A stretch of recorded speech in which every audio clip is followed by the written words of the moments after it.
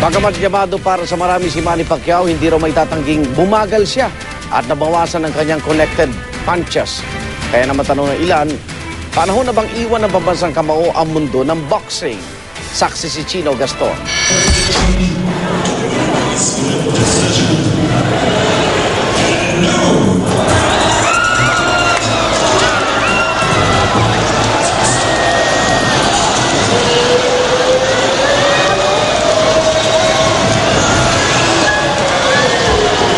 Hindi na naitago ng maraming Pilipino ang pagkadismaya kasunod ng anunsyong tinalo ni Timothy Bradley via split decision ang ating pambansang kamaong si Manny Pacquiao.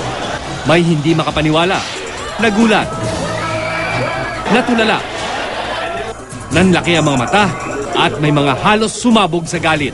Eh, hindi ako kontento rin sa final decision. Sinabutahe yung ano niya, yung score niya. Gusto nila i-rematch na para kikita naman promoter. Pero hindi sinang-ayunan ng mga ekspertong nakausap namin ang mga espekulasyon na baka ibinenta ni boxing promoter Bob Arum ang laro para paangatin ang bago niyang manok na si Bradley. I don't think Arum gained anything sa pagkatalo nitong si, si Manny Pacquiao.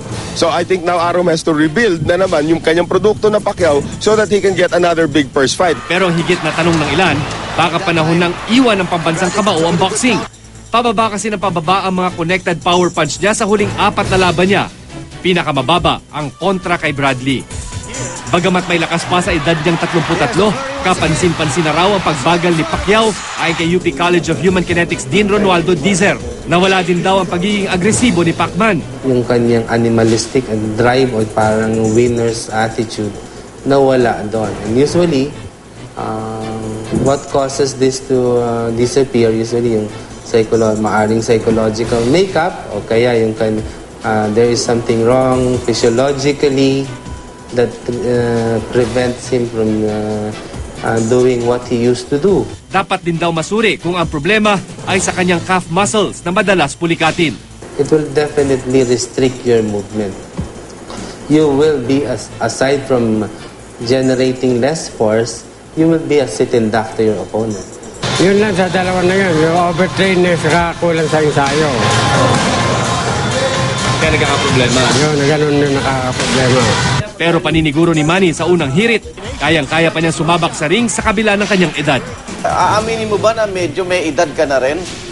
Kaya hindi na rin ganun daw kapilis yung nakita nila sa laban kahapon.